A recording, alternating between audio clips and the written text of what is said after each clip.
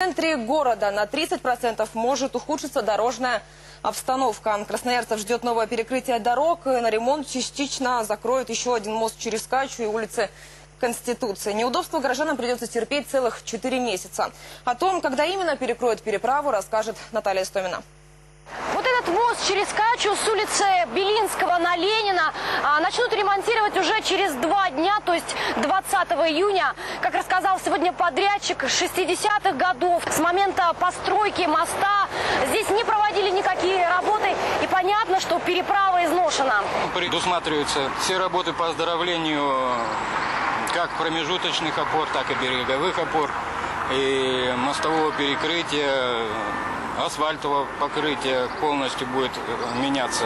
Капитально ремонтировать переправу будут целых 4 месяца. Все это время движение на мосту будет ограничено. Рабочие намерены перекрывать полосы по очереди. Но кроме того, каждую неделю в ночь с субботы на воскресенье проезд здесь будут перегораживать полностью. А вот участок улицы Конституции, который находится непосредственно под мостом, будет перекрыт полностью, причем до самого окончания работ, то есть до конца октября.